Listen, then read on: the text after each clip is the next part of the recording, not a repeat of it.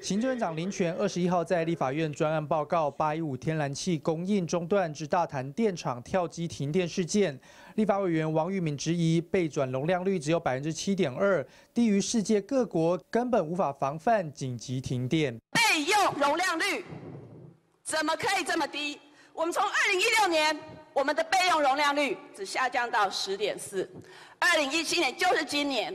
院长口口声声说我们的电够用，我们的备用容量率只有七点八趴，明年更危险，明年将会下降到五点一趴。台电给我的数据大概说，根据过去的我们的历史经验呢，如果能够维持在七点二左右的话呢，其实应该来说呢都是没可以应付所有的危机。但是呢，七点二的话呢，在根据过去历史经验，如果七点二的话，应该是这个缺电问题是不会发生的啊。而立委郑玉鹏认为，台湾电力分配就是没有风扇风险，才会导致一个电厂机组出问题就发生全台大停电的状况。要求能源在地发电、在地传输、在地使用，达到分散风险。第一个，台湾发生问题说我们只有鸡蛋，